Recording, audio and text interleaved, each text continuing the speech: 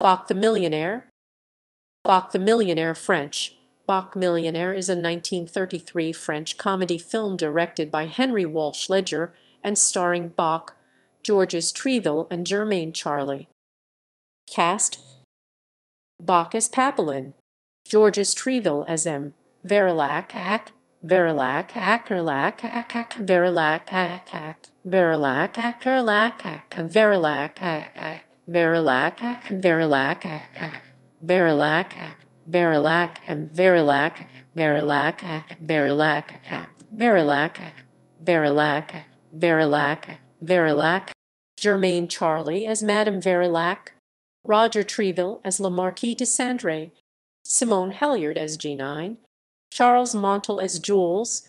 Sinoël as Le Notaire, Jean-Francois Marshall as Pernu, Germaine Aussey as Louise de Sandray, Albert Broquin as Lagarde Chasse, Susan Micheline as Balbine, Le Petit Patachou as Le Petit Totter,